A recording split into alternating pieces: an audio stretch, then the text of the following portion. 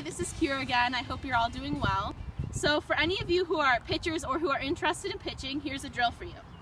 So you want to start by finding the C on your ball. So there's either a C or a backward C. And you want your fingertips on those laces right here. So it should look like this.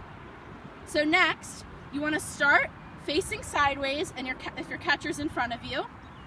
And you want your knees bent a little bit and your hips back.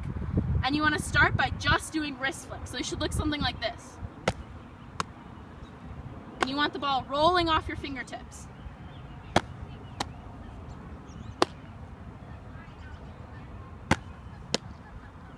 Now if you don't have outside access or a catcher, you can also do these with a rolled up sock ball in your house. You can do it against a mirror or to a parent or a sibling and that works too.